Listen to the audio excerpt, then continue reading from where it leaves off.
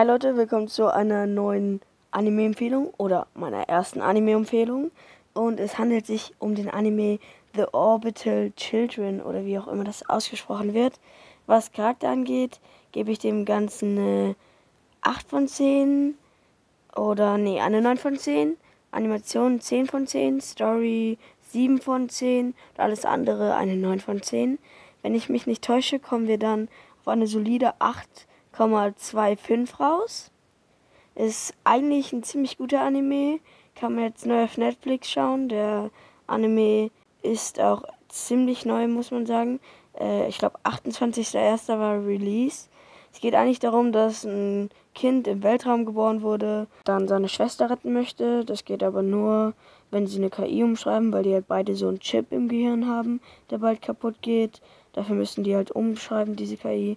Und ich kann es euch nur empfehlen.